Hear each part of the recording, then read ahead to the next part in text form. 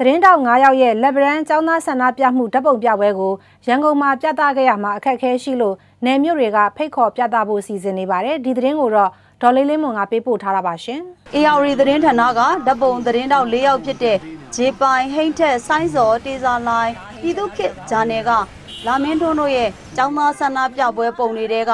မန်းလေးရန်ကုန်ခြေလင်းလန်းလျှောက်ပြပွဲပုံရိုက်နှက်ဖြုတ်ခွင်းခံရပုံဖမ်းဆီးခံရပြီးနောက်ပိုင်းမှတ်တမ်းတင်ရိုက်ကူးထားတဲ့လက်ပုံပြပွဲကိုရန်ကုန်မှာရက်အပြည့်ပြသခွင့်မရပေမဲ့နေမြို့သုံးခုမှာတွားရောက်ပြသသွားဖို့ရှိပါတယ်ဒါပေမဲ့ကျွန်တော်ကဒါရန်ကုန်ပွဲပေါ့နော်မန္တလေးရယ်ကြောက်ပတောင်းရယ် AR ရယ်ကျွန်တော်ကို request လုပ်ထားတာရှိတယ်ကျွန်တော်ကအဲသူတို့ permit တွေလုပ်ဖို့ပြောထားတယ်ဟုတ်ဆိုဆိုကျွန်တော်တို့က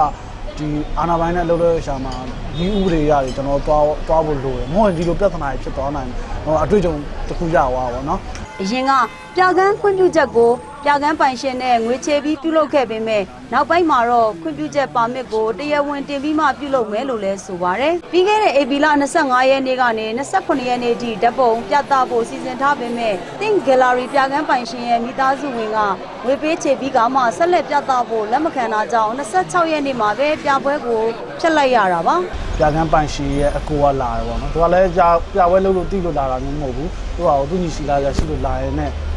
ကျွန်တော်ပြပွဲလုပ်တာပြီးတော့သူကအဒီမှာပုံလိုက်ကြည့်နေသူကဘယ်လိုစိုးရင်သွားတယ်ပေါ့နော်ဒီ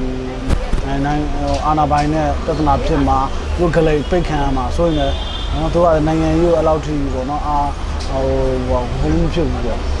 ဝင်မပါခြင်းပေါ့နိုင်ငံရေးဝင်မပါခြင်းဒီစီဝါရေးပဲကောင်းလုပ်ချင်တယ်ဆိုတဲ့အကြောင်းပြချက်တွေစိုးရိမ်ပူပန်မှုတွေတောင်းပြပွဲမတိုင်ခင်နေ့ကတော့အရက်ဝေထောင်လိုင်းရေးတယောက်ကဓပုံထားသူတွေနဲ့ပတ်သက်ပြီးလာရောက်ပြပင်ခဲ့တာတွေလည်းရှိပါတယ်။ဒီမှတ်တမ်းတင်ဓပုံတွေကတော့2014နိုဝင်ဘာကစပြီးသမဂကျောင်းသားတွေကအမျိုးသားပညာရေးဥပဒေကျမ်းကိုစန့်ကျင်ဆန္ဒပြပွဲပုံတွေအပါအဝင်မန်းလေးကနေရန်ကုန်ထိခီးရှည်ချစ်တဲ့ရာမှာအာနာပိုင်ရဲတွေရဲ့ရိုက်နှက်ဖြုတ်ခွင်းခဲ့တဲ့တောင်သားလက်ဗရန်ဓပုံ လဲလန်းဖြုတ်ခွင်းမှုဓပုံတွေနဲ့ဒီနေ့အထိဖမ်းဆီးခံចောင်းသားတွေရဲ့တရားရုံးစစ်ဆေးခံလာရောက်တဲ့ပုံတွေအထိပါဝင်ပါတယ်။ဒီမှတ်တမ်းဓာတ်ပုံ38ပုံကိုလာမယ့်မေလထဲမှာတော့ဖိတ်ခေါ်ထားတဲ့နေမျိုးတွေမှာထပ်မံပြသဖို့ပြင်ဆင်နေပါတယ်။ကျမလေးလေးမော်ပါ။